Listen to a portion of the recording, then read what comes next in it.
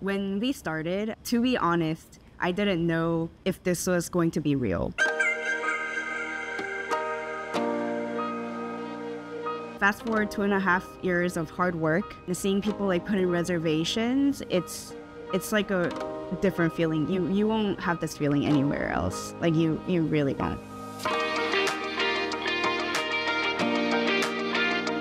The project is really interesting. It's very technical. There is a whole world of possibilities out there in terms of transportation. The safety piece has always been missing. Rotorcraft accidents continue to be commonplace as though we can't do better, but we can do better. People I've flown with, people I would call friends, uh, that are no longer with us with this technology and with what we're doing here, they would still be with me. Any incident today that possibly was going to be a fatal incident, if we can flip that around so that whoever that was is able to come home to their families, I don't know why that wouldn't motivate everyone to want to work on this.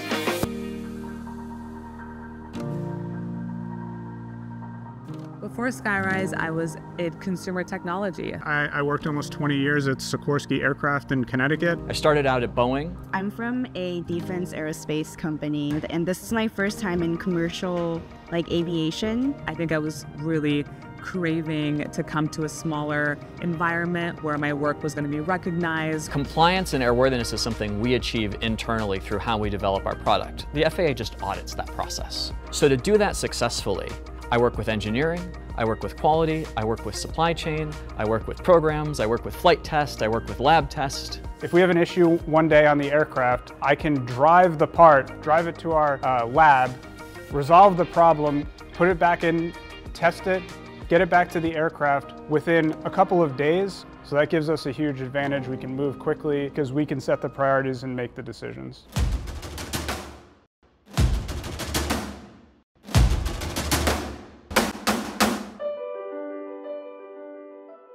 So something I see that's valuable here uh, with people at Skyryse is never saying no for an answer. Not being afraid to make the wrong decision. You need to be curious right? You need to want to go solve problems. When you come from big companies uh, or from school, there can be a tendency to like want to be perfect, to get it right immediately the first time. Instead of just flat out saying no, making sure that you have another plan. We, we test as early as we can. That type of event gets more people involved as soon as possible so that like more people understand and provide the feedback that, that, that they see. I mean, we get a lot of really smart people from across the industry, and what makes the difference are those who exhibit the passion, the drive, the grit. You can have a lot of folks who are kind of curious and interested in exploring a problem. But to be successful at Skyryse, you want to have to solve that problem, close it out, get it done, and bring it to the market.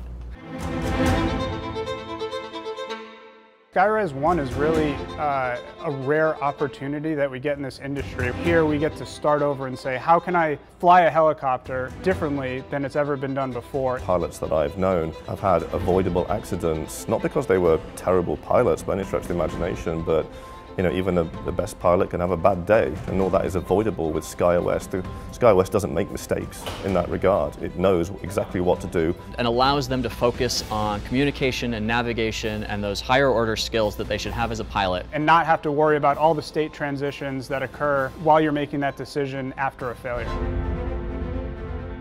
I've learned a lot since I've been here. I've had the opportunity to have more hands-on work. You know, I started my career here as, um, say, a mid-level engineer, and now I'm a manager and leading teams. I feel like I've grown into this engineer and a manager that can be vocal um, about my opinions and what I think is needed and what I think needs to happen. And at Skyryse, that was valued. You're exposed to technology, you're exposed to ways of thinking that, you know, for the vast majority of pilots just doesn't, doesn't even enter into what they do and what they learn on an everyday basis. So the opportunity for self-discovery and expansion of your skill set are something that you just don't get anywhere else. All right, I'm a safety and certification professional.